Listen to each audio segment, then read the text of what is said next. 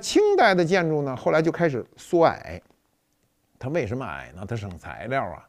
清代人口增值以后呢，从面积的角度上讲，从这个人均面积呢，它肯定是在缩。所以盖房子的时候就导致房子的面积呢，就是呃越盖越矮，甚至在原来的那个空间中加上一层啊，加上一层。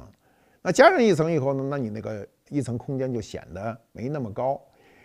我们今天住房子哈，也是希望这个屋里层高高一点啊。我记得前些年盖房子，就是上个世纪后期盖的房子呢，往往都比较矮，它一般层高都控制在两米五、两米八，都算高的了。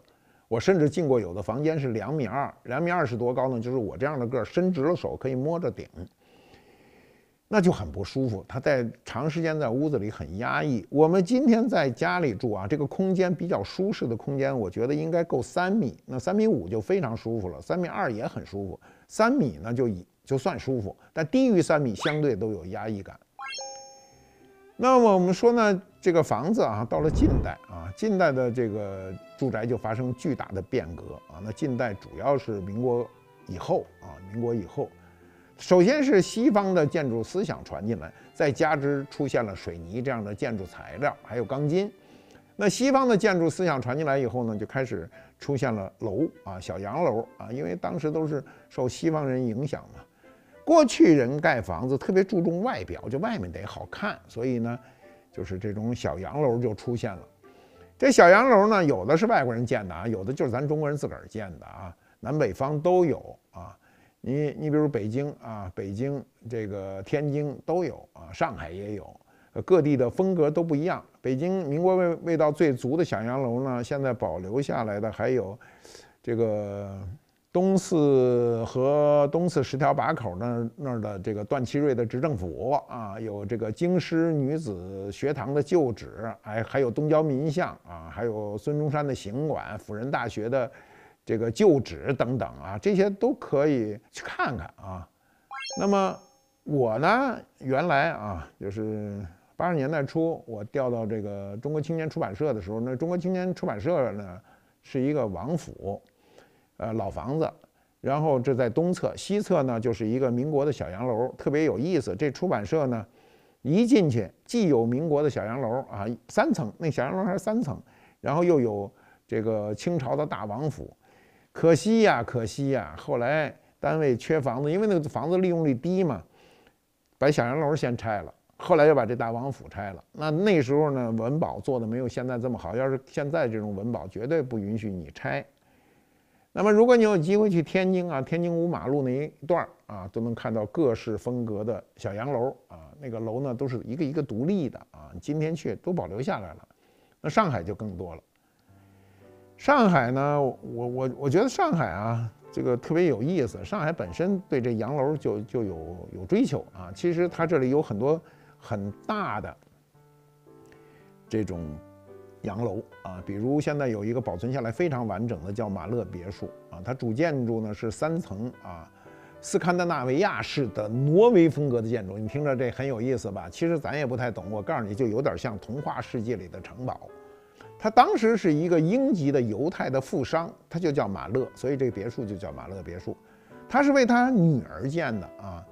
他女儿这个有一天早上起来跟他爸说：“说爸，我梦里梦见了一个哎特别好的一个地方。”然后他爸就说：“那那你给我画出来吧。”然后这女儿就把梦中看见那个房子就画出来了。我想这女儿是画画是有天才的，要不然画不出来啊。我梦见过好多，你让我画，我肯定画不出来。这女孩呢就把她。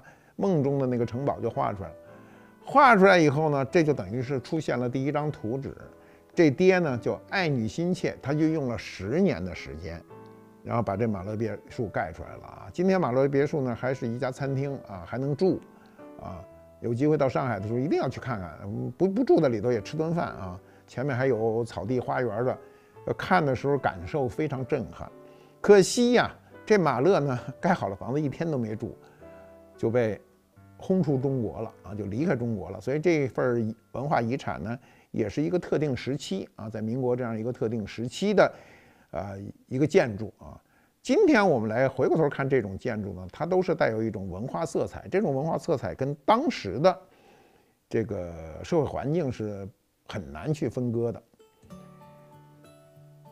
我们的建筑再有一个比较大的变化呢，是新中国建立以后啊，因为新中国建立以后呢，是我们从战争年代走过来以后呢，国泰民安，人口增值特别快啊。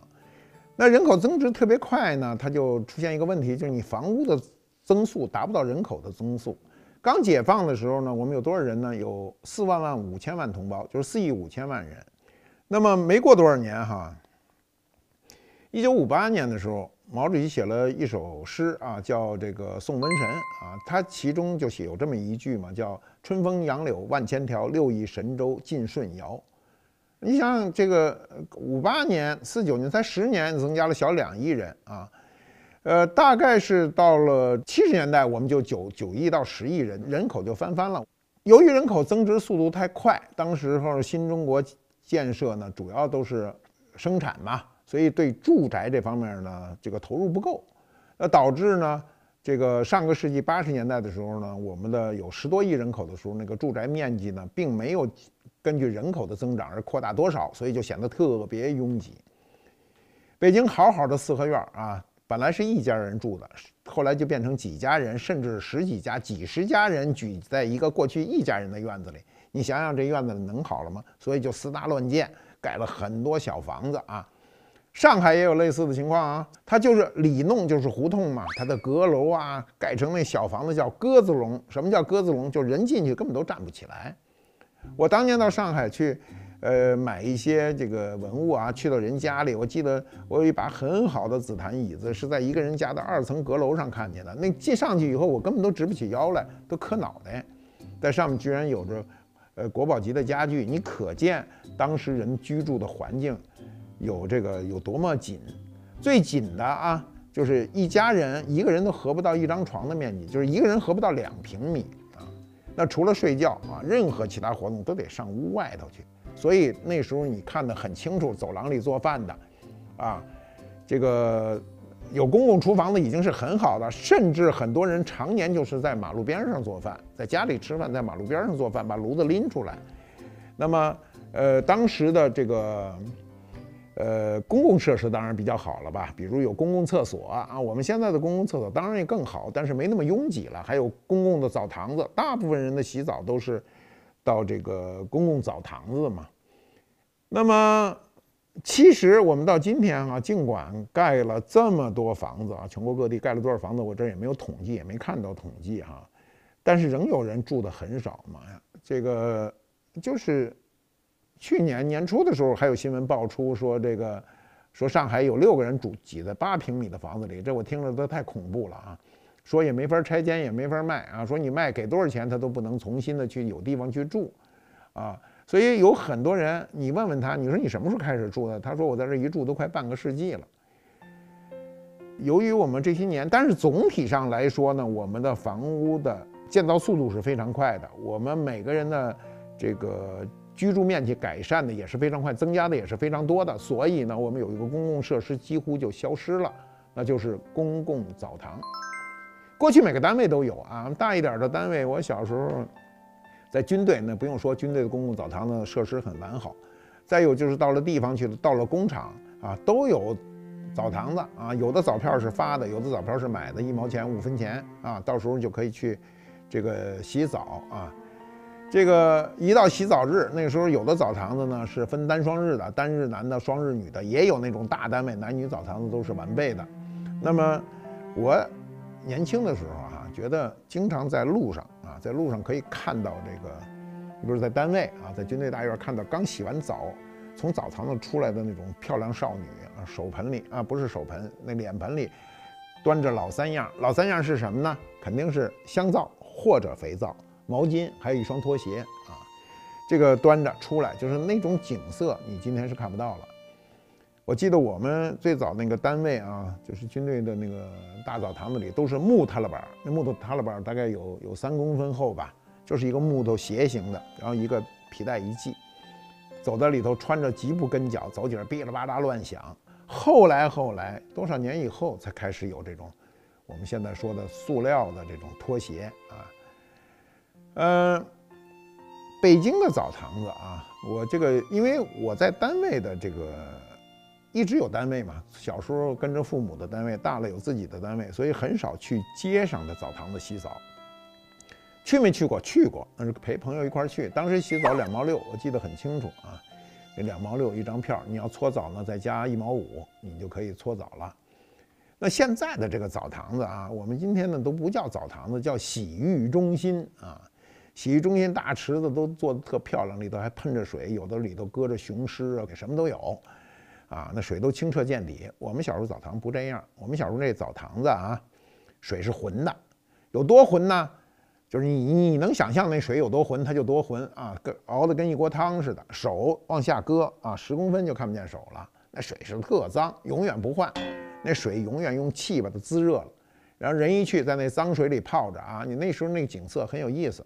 人一下去就看不见身子了，就剩一头了啊，泡在里头泡发了以后呢，再去互相搓背啊。那时候也很少有人去花钱再去搓，最后到淋浴那冲干净走人啊。那么。今天啊，今天我们居住的环境都得以巨大的改善，主要是两个方面，一个是卫生啊，就是你这个洗澡；第二是上厕所，这两个都在家里得以解决。我们现在的新的房子肯定家里都有这个设施的，过去家里有这个设施的人是很少的，尤其这种坐马桶。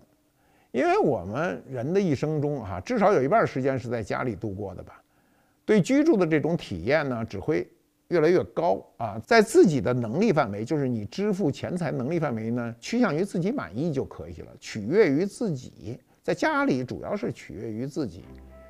我们这些年呢，住宅观念发生了很大的变化。以前的房子太小啊，我们人们都是想当然的认为啊，住宅肯定是越大越好。但是多大？才算大呢。我告诉你，这房子还真不是越大越好啊。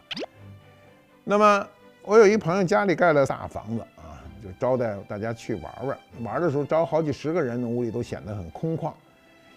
那我说你这房子太空了，这么大的房子啊，你住在里头能舒服了吗？他说反正都盖了，那不住也得住。隔了几年我再去的时候，忽然发现他们家人都不住那宅子，都住那个。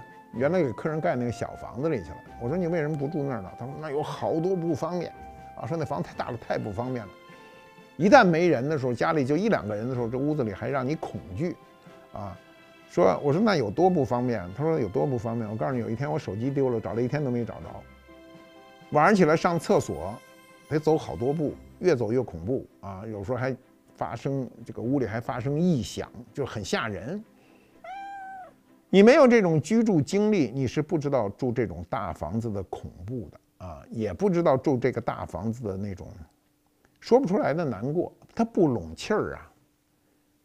我另外一个朋友也是大宅子啊，然后把他那九十岁高龄的老母接过来住啊，弄着一堆的人伺候。他那老母是从小是在北京南城胡同长大的，那胡同南城胡同本来就拥挤，他在那里长大的呢。他跟左邻右舍啊，街坊四邻都形成了一种人际关系，见谁都打招呼聊天啊。说现在这大房子大是大，好多人伺候他，他没法跟人聊天儿。说一天最有，一天最高兴的一件事，就是到了下午的时候，围着那鱼那个鱼池子，拿那个大白馒头喂锦鲤啊。那房子大到什么程度呢？大到就是吓人。所有的家具呢，原来都是溜边放，现在都往中间放啊，显得这个屋子紧凑一点。然后呢，老太太趁着他不在，偷偷跟我说：“这房子哪是住人的房子，啊，就是不舒服嘛。”呃，后来呢，他自己那大卧室也是超大啊。我老说，我们都希望卧室大一点，舒服吧。我告诉你，卧室大了最不舒服啊。这个，如果你的房高再高一点，你那卧室只要大过一百米、二百米，你晚上一睁眼，你觉得就像在仓库里值班，你知道吗？非常不舒服。你看，连这个乾隆啊。乾隆皇上退休那倦勤斋啊，这个他的过去的静心斋、三希堂都特别小。他那个倦勤斋那个卧室和他待的地儿我都看过，那房框这个门框都快撞脑袋了。我说这皇上住的这地儿怎么这么小啊？他不愿意住大地儿，因为大了以后空，心里很犯空，睡着不踏实。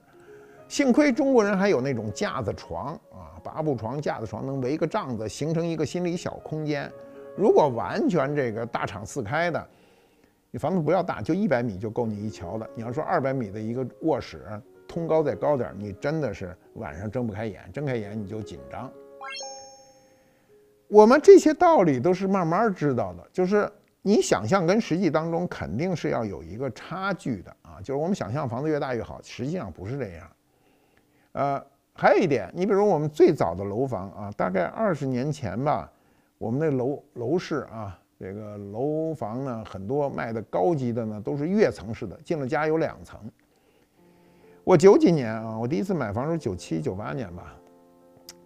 买房的时候我就去，人家都是啊，所有的这个房地产项目的好一点的房子，全是在家里要跃层的，要上一层，至少要上半层。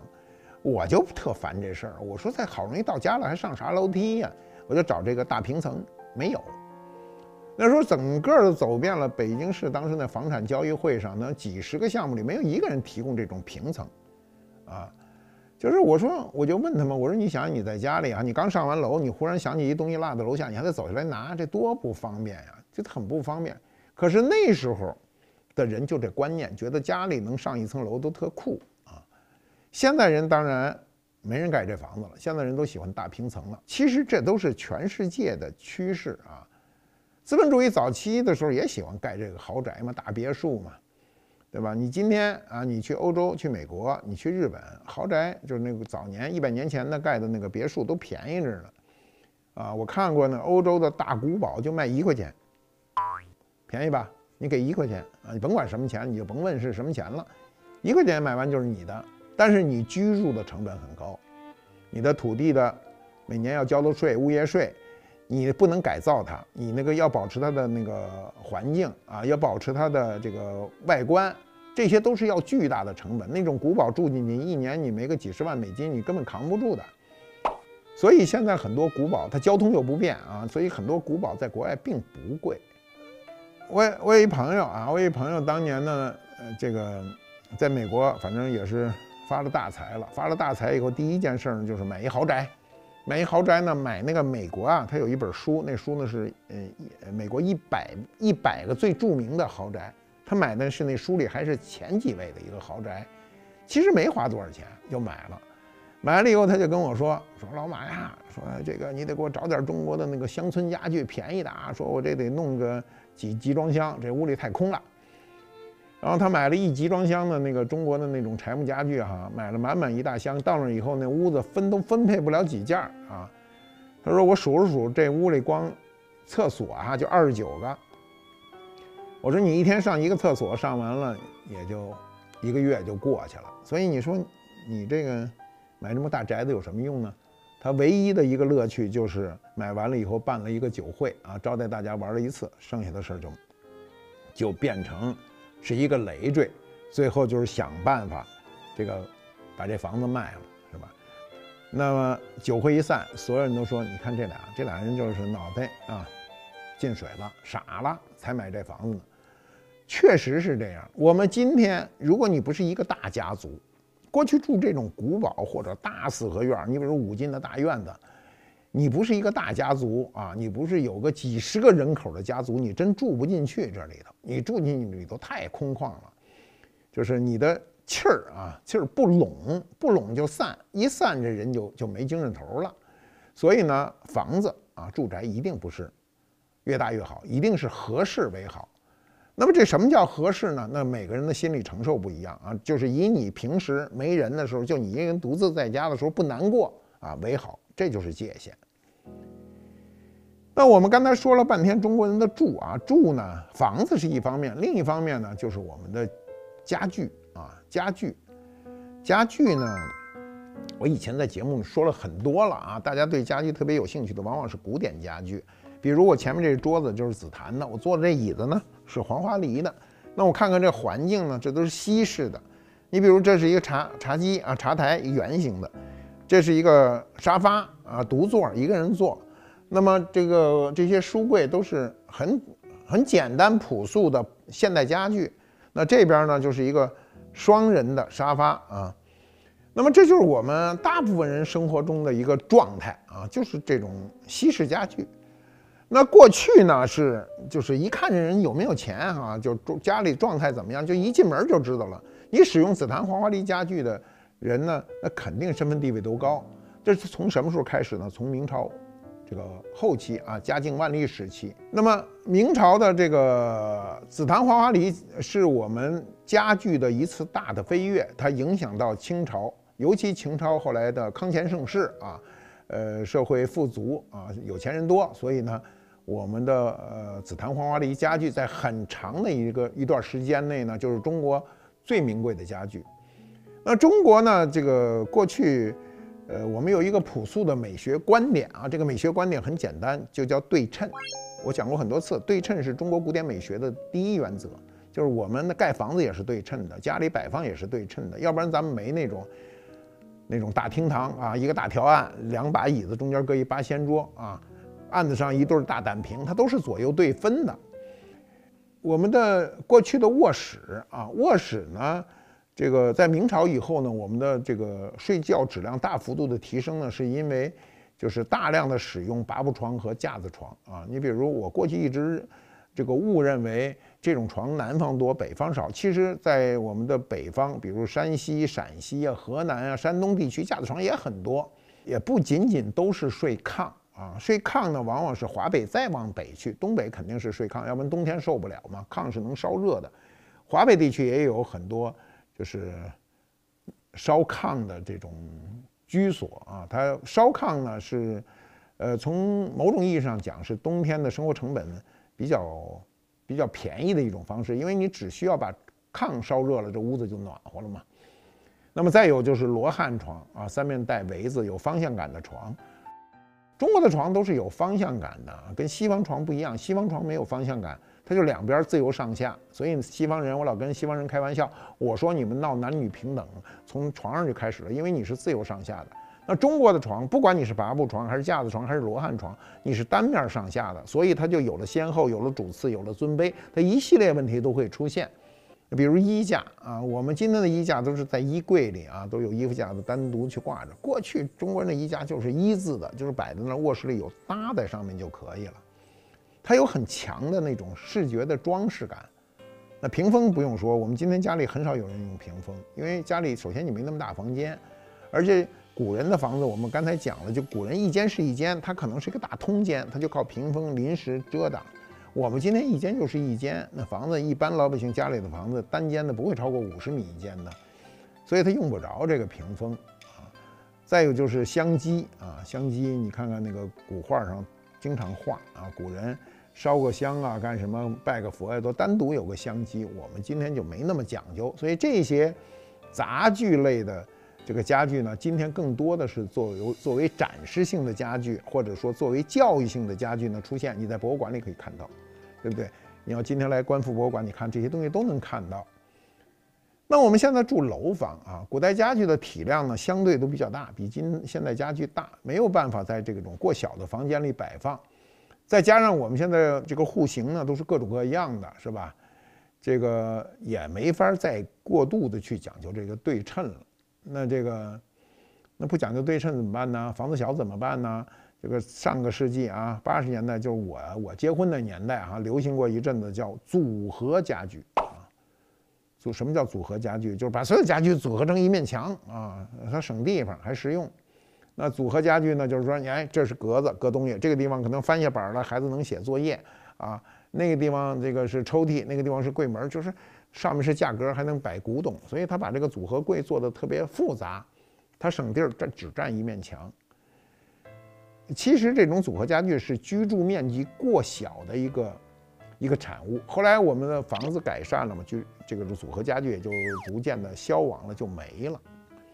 其实中国人的家具呢，这个发展挺早的啊，就是我们呃，我们老说唐宋是个界嘛，宋代的时候中国家具基本上就成型了啊。你比如桌子啊，桌子，桌子你它为什么叫桌子啊？它就是高起来嘛。原来我们坐在地上，突然把这桌子做那么高，所以那桌子呢就写成桌啊，就卓越的卓，卓然而立啊。椅子呢很简单，椅子是靠着的嘛，倚靠嘛，所以呢桌和椅最后都把偏旁改成木字，卓然的卓不是底下是一个十字吗，改成木字。倚靠的倚，单立人改成木字边儿，所以呢，因为大部分家具，我们古老的家具都是木头做的嘛。那今天你说我的家具是是钢管的，是铝制的啊，是合成材料的，是塑料的，那这个都可以。古代只有木头，所以桌椅都跟木字有关。那么我们这个都讲过很多了啊，这简单的不多说了。就是我们最早欧洲呢，欧洲人都是垂足坐，所谓垂足坐，就是我们像坐椅子上两个腿垂下去。那亚洲地区呢，都是席地坐，就我们盘腿坐在地上，所以铺着席子。那你仔细想哈，两千年前，两千年前，欧洲和我们亚洲分得很清楚。但是今天啊，只有我们亚洲地区，只有我们彻底告别了席地坐。我们留下的残存的文化痕迹呢，就是词汇，比如我们说过啊，席位呀、宴席呀、主席呀。这些都跟你早年坐席子地儿有关。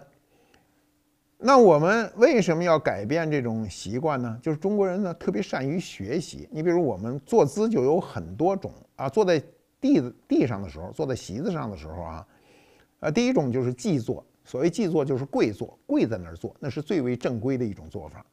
再有呢就是夫坐，就是盘腿坐。再有就是鸡坐，那是把两腿往前伸，那种就属于很舒服，但是。很不文雅的一种做法。其实我们要想更多的了解这个啊，就有机会可以看看我早年在百家讲坛讲的家具篇啊，那个内容非常多。我们在这种节目里说不了那么那么多。我们真正家具的革命呢，是进入了民国。进入民国以后呢，就刮起了这西洋之风啊，有了所谓的中西结合的这种家具。那么十八世纪的时候，其实欧洲刮过很强的中国风啊。这个中国风情呢，是在大概在这个十七、十八世纪啊，就是这个我们就是欧洲整个东印度公司大量的这个在中国买商品的时候，那我们的这个中国风实际上是全欧洲的时尚。当时的这个这个中国当然也包括了整个以中国为主体的这个东亚地区了，外国人分不太清楚你中国。日本、韩国啊，什么和一些细微的区别，他分不清楚。我们非常容易分清楚。那么他们把这些东西呢拿过去，加上他们自己的灵感，呃，这个创造出新的一种风格，这种呢就基本上叫中国风啊。这种中国风呢，你今天如果有机会到欧洲去，啊，你偶尔看到一个亭子，你觉得这亭子有点怪异，那肯定是中国风。你到这个欧洲很多宫殿里去看，凡是你看到突然。眼睛一亮，觉得很亲切、很熟的地方，那一定是受中国风影响的地方。可惜啊，我们今天我们的家具啊，我们先说家具，没有出现更新的、带有标志性的中国风家具。我们今天的家具都是在老家具中改良改良，或者新家具中呢加一点古典的文化符号。我真的特别希望啊，我们在不远的将来，我们有这么一天呢，我们中国人能设计出一种。又实用又美观的新中式家具，而这种中式家具呢，让世界上各国的人一看就是中国人设计的。呃，如果到那一天到来的时候，我们一定会在欧洲再一次刮起中国风，那是我们非常盼望的一天。